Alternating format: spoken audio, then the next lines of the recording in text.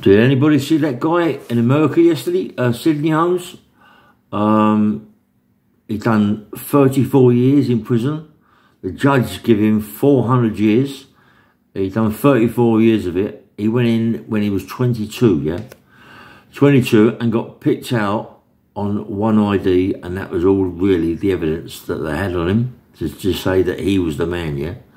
So the judge gave him 400 years. Uh, he's just won his appeal.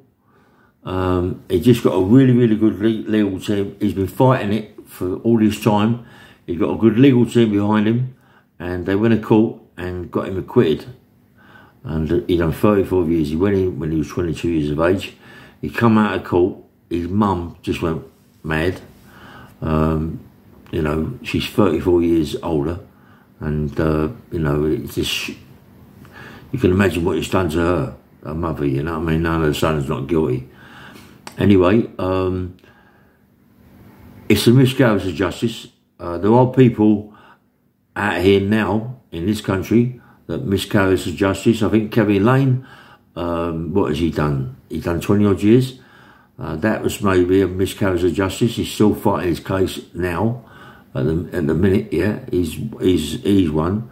Uh, there are a few others that, I, that um, I've heard of miscarriage of justice that have done big sentences and got acquitted. The, the, the, all was that the RA, they got acquitted, didn't they? Uh, how long did they do? Twenty odd years uh, miscarriage of justice is another one. It, it, happens. It happens. And yet, um, I used to be, I've been away with guys uh, that, that maybe got five years, six years in prison and they're not guilty of that offence.